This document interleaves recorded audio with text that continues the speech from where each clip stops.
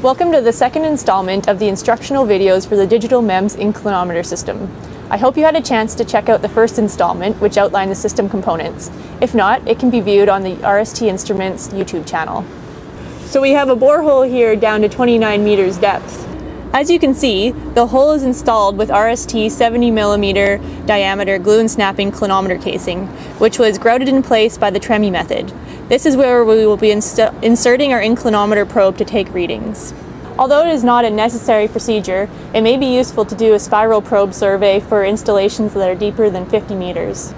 Okay, so now it's time to connect the inclinometer probe to the inclinometer cable, making sure to align the notches.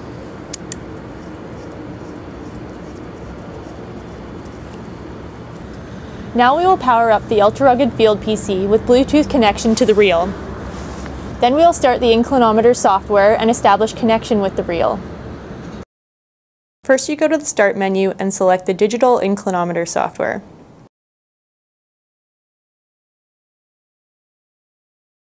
Make sure you have the right project and borehole selected. Press the button on the reel. The readout will first connect to the reel and then to the probe.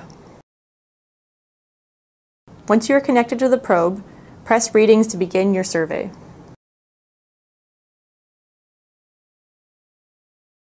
When an inclinometer casing is surveyed for the first time, you must choose a reference direction for your baseline readings and all future readings. Ideal installation of the inclinometer casing attempts to align one set of the grooves in the direction of expected movement.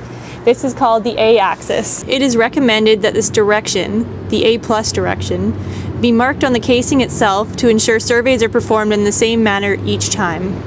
Now let's lower the probe down the casing along the A plus direction with the wheels pointing up towards A plus.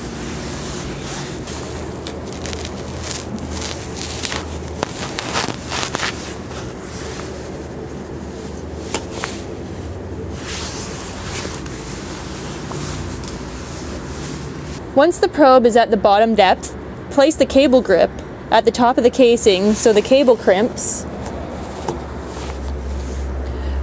Uh, marked every half meter on our metric system and every two feet on our imperial system will have something steady to rest on as you take readings with the ultra rugged field PC.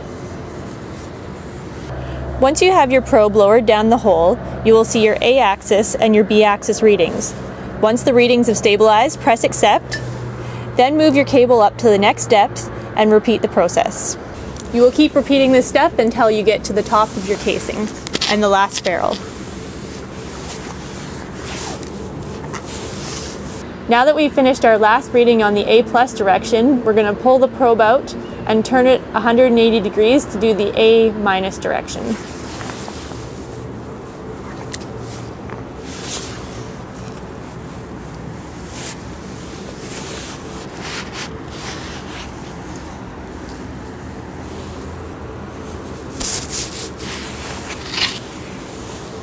With all your readings complete, you can view the data on the graphs on the field PC and transfer all your survey data to your PC and process it with RST's Inclinalysis software.